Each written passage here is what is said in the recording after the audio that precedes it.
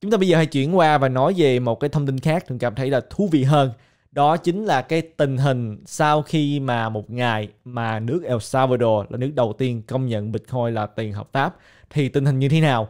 Các bạn thấy được là trong một cái à, buổi livestream thì à, George Hutchinson đã chia sẻ với lại cộng đồng. Thì à, ở trong một cái video YouTube thì founder của đồng Cardano, đó chính là John Hutchinson đã chia sẻ với cộng đồng trước hết là chúc mừng Bitcoin. Và thứ nhì nữa là John Hutchinson cũng như là Thuận và nhiều bạn nghĩ đây chỉ là cái bước đầu tiên mà thôi hiệu ứng domino đã bắt đầu. El Salvador chỉ là cái bước đầu tiên, chúng ta sẽ thấy nhiều quốc gia khác theo gót chân của Salvador và công nhận Bitcoin. Nhưng mà có thể là không phải như tiền tệ, nhưng mà sẽ công nhận Bitcoin như là tài sản hay là sẽ hợp thức hóa Bitcoin. Và không gì khác hơn là các bạn thấy được là ngày hôm qua chúng ta đã nghe nói tới là Panama Republic of Panama đã là một quốc gia mà bây giờ đã có một cái dự luật muốn công nhận Bitcoin và chúng ta ngày hôm nay lại có thêm một nước khác nữa đó chính là Ukraine thì Ukraine ngày hôm nay đó đã hợp thức hóa Bitcoin và crypto. Điều này nghĩa là gì? Thì thực ra mà nói đó, tin tức này được chia sẻ trên Twitter rất là nhiều nhưng mà ít người thường nghĩ là xem kỹ coi điều này là gì. Thì hiện bây giờ đó ở Ukraine đó người ta vẫn có thể tiếp tục lưu trữ Bitcoin và Ethereum và nhiều crypto khác mua bán lưu trữ vân vân. Thì tại sao tôi nói là Ukraine bây giờ đã hợp pháp hóa Bitcoin và Ethereum? Hợp pháp hóa ở đây có nghĩa là trước đây họ vẫn có thể lưu trữ Bitcoin Ethereum nhưng mà giống như là, là quốc gia chưa có luật rõ ràng. Bây giờ thì Ukraine đã có luật rõ ràng và họ sẽ cho người dân mua bán và ho đồ. Nhưng mà luật pháp sẽ bảo vệ crypto như là những loại tài sản khác. Như là về mặt pháp lý crypto đã có một cái vị trí và Thêm vào đó nữa là họ sẽ tạo ra một cái đơn vị quản lý tiền điện tử để mà quản lý thị trường này, cộng với lại cái sự hỗ trợ của ngân hàng trung ương của Ukraine, vân vân. Thì có nghĩa là Ukraine đã bước thêm một bước nữa để mà hợp pháp hóa thị trường này, sẽ có luật bảo vệ đương nhiên, có đánh thuế và những công ty crypto có thể là có giấy phép hoạt động chính thức và họ sẽ không bị hạn chế hay là bị hạch hỏi bởi những ngân hàng. Họ sẽ trở thành một cái phần của nước Ukraine. Thì các bạn thấy được là chúng ta có El Salvador à, chúng ta có Republic of Panama. Chúng ta bây giờ có Ukraine và thân nghĩ là chưa dừng ở đây sẽ còn nhiều quốc gia khác nữa sẽ hợp pháp hóa Bitcoin và crypto. Thì một trong những người mà chia sẻ đó đó chính là Edward Snowden. Thì Edward Snowden cũng có cái suy nghĩ cũng giống như là George Hutchinson nói là hiện bây giờ chúng ta đang chứng kiến là hiệu ứng domino của nhiều quốc gia sẽ lần lượt chấp nhận.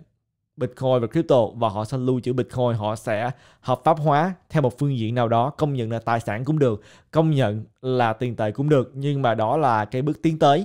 Và Edward Snowden nói là chúng ta đang nhìn thấy cái sự tiến triển của một cái game theory như là lý thuyết game thì game theory là một cái lý thuyết rất là thú vị mà có thể nhiều bạn không biết nhưng mà thường muốn dành thời gian để mà chia sẻ cho những người nào mà không có rành. Thì khi nói tới uh, game theory đó đây là một cái uh, lý thuyết nói là trong một cái uh, môi trường mà cạnh tranh với nhau. Thì những người mà cạnh tranh với nhau đó khi mà họ không đoán được hay là họ không biết được là cái người cạnh tranh với họ sẽ nghĩ gì hay là làm gì, thì tổng chung với nhau đó, những người mà cạnh tranh với nhau họ sẽ đưa ra cái quyết định mà họ nghĩ là bản thân của họ, đó là quyết định tốt. Nhưng mà khi mà chúng ta thấy sự ảnh hưởng chung là ảnh hưởng xấu, có nghĩa là họ sẽ đưa những quyết định mà họ nghĩ là tốt cho họ, nhưng mà nhiều người cùng một quyết định đó nghĩ là quyết định này tốt cho họ thì sẽ ảnh hưởng chung đối với thị trường.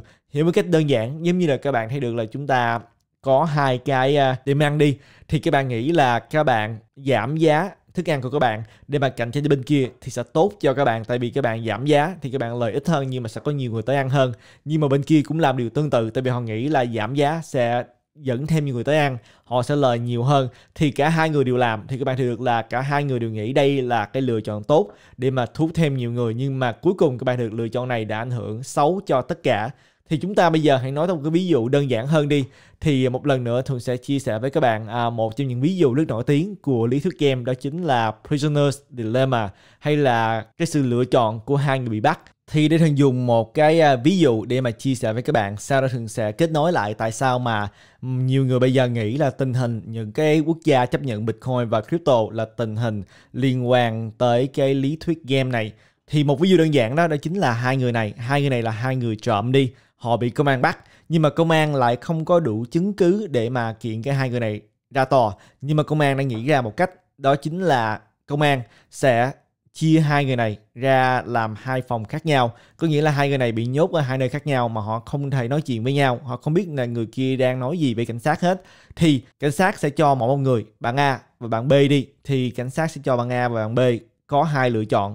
Hai lựa chọn đều giống nhau. Lựa chọn đầu tiên là nếu như bạn A mà tự thú và chỉ trích bạn B thì bạn A này sẽ được giảm xuống cái uh, tội án của mình và chỉ ngồi tù 5 năm mà thôi.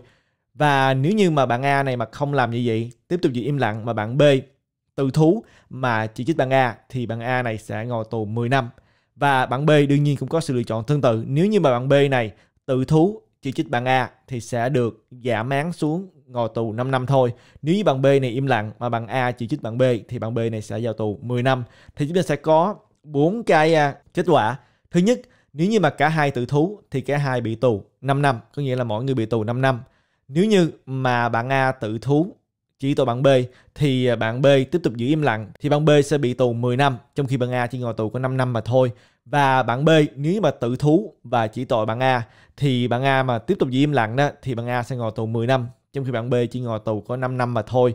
Nếu như mà bạn A và bạn B im lặng, thì cả hai đều không sao. Tại vì thời điểm này, cảnh sát không có đủ chứng cứ để mà kiện cả hai cho nên nếu như mà cả hai im lặng, thì cả hai sẽ không sao hết nhưng mà các bạn nên hiểu là tuy là cái à, kết quả cả hai im lặng là tốt nhất, nhưng mà cả hai người này đều không có biết người kia đang nói gì và họ sợ là người kia sẽ tự thú và chỉ trích mình.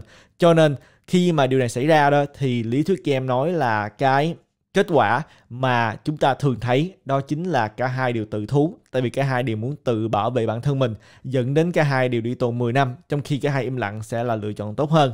Đó là cái lý thuyết game theory. Và chúng ta cũng thấy cái lý thuyết này đó ở trong cuộc sống hàng ngày, giống như các bạn có thay đổi hai người này, trở thành hai cái quán ăn đi, thì hai quán ăn sẽ cạnh tranh với nhau, thì mỗi quán ăn sẽ có lựa chọn là một là giảm giá. Khi mà giảm giá sẽ thu hút thêm nhiều người, có thể là lợi ích nó thấp hơn nhưng mà nhiều người ăn hơn thì sẽ có được lợi ích nhiều hơn. Thì cả hai quán ăn đều sẽ đưa ra quyết định là giảm giá. Nhưng mà cả hai người đều nghĩ là quyết định đó là quyết định tốt. Nhưng mà cuối cùng thì các bạn thường là quyết định đó là quyết định dẫn đến cả hai người này đều bị thiệt hại. Tại vì cái điều tốt hơn là cả hai đều không làm gì cả tiếp tục cạnh tranh thì cả hai vẫn có thể là trụ được, trong khi mà cả hai cứ tiếp tục cắt giá liên tục sẽ ảnh hưởng chung tới tất cả mọi người và thu nhập sẽ thấp hơn. Đó chính là cái lý thuyết game mà thường muốn chia sẻ với các bạn. Nhưng mà điều này có ý nghĩa như thế nào khi mà chúng ta nói tới thị trường crypto này? Để thường đổi cái ví dụ cho các bạn. Thì thường vừa đổi cái ví dụ này lại, chúng ta bây giờ hãy chuyển qua thành quốc gia đi. Thường lấy hai lá cờ này làm à, ví dụ mà thôi, quốc gia A và quốc gia B, thì cũng tương tự như là cái ví dụ mới đây, khi mà hai quốc gia này đó là họ không có biết là quốc gia kia đang nghĩ gì và sẽ làm gì, thì khi chúng ta nói tới thị trường crypto này và bitcoin đó, thì chúng ta sẽ thấy được là những quốc gia sẽ có sự lựa chọn. Thì để hiểu đơn giản đi, thì sự lựa chọn là chấp nhận hay là không chấp nhận? Nếu như mà nước A chấp nhận mà nước B không chấp nhận, thì đương nhiên là nước A sẽ được thu thuế crypto, sẽ có nhiều công ty crypto đi vào nước A để làm gì? Để họ phát triển, để họ cung cấp công việc làm, họ cung cấp cơ sở hạ tầng, vân vân. Thì nước A sẽ nhận được nhiều lợi ích, cũng giống như là tương tự. Nước B thì nếu như mà chấp nhận mà nước A không chấp nhận hay là nước A im lặng thì nước B cũng sẽ được những cái lợi ích tương tự đó. Họ sẽ được thu thuế, họ sẽ được nhiều công ty đến quốc gia của họ để mà phát triển, để mà làm ăn. Họ có thể là có công việc làm, vân vân. Thì đây là cái sự lựa chọn của hai quốc gia này. Đương nhiên khi mà chúng ta nhìn chung đó, thì kết quả tốt nhất. Nếu như mà hai quốc gia này muốn tiếp tục nắm quyền tuyệt đối trong cái quốc gia của mình về cái phương diện tiền tệ, thì cả hai đều không chấp nhận. Nếu như cả hai đều không chấp nhận, nước A không chấp nhận crypto, nước B không chấp nhận crypto, thì cả hai đều không bị ảnh hưởng. Ngân hàng trung ương của hai quốc gia đều hoạt động bình thường. Nhưng mà các bạn nên nhớ là tại vì nước A và nước B đó, giống như là hai cái người bị bắt mới đây, họ không biết đối phương nghĩ gì và họ nghĩ là nếu như mà họ không chấp nhận mà bên kia chấp nhận thì bên kia sẽ đi trước một bước và có thể nhận được tất cả lợi ích. Tại vì đương nhiên chúng ta chỉ có bao nhiêu công ty mà thôi, nếu như công ty đã vào nước B sẽ không vào nước A và ngược lại, thì hai bên sẽ ra quyết định là cùng chấp nhận, sẽ dẫn đến là Bitcoin và crypto phát triển và đây là lý do tại sao mà những người mà người ta nói là lý thuyết game đó sẽ dẫn đến là những cái quốc gia phát triển. Tại sao mà nhiều người có lòng tin là El Salvador chỉ là bước bắt đầu mà thôi? Nhất là khi mà El Salvador trong vòng giống như là một năm có thể cho thấy được là nhiều lợi ích đến từ chấp nhận Bitcoin crypto đó, thì những quốc gia khác họ sẽ không có đứng yên đâu. Tại vì họ không có lý do gì mà nhìn thấy những quốc gia khác cạnh tranh với mình được nhiều lợi ích như vậy. Nhưng mà các bạn thấy được là vì cái suy nghĩ liên quan tới lý thuyết game theory, nhiều quốc gia sẽ chấp nhận Bitcoin và crypto, chứ không phải là không chấp nhận. Mặc dù là không chấp nhận, tất cả đều không chấp nhận sẽ là cái kết quả tốt hơn. Nếu như mà họ muốn tiếp tục nắm quyền tuyệt đối về cái phương diện tiền tệ, nhưng mà quốc gia này chấp nhận một quốc gia kia không chấp nhận, thì quốc gia chấp nhận sẽ nhận đi nhiều lợi ích. Vì lý do đó, họ sẽ chấp nhận.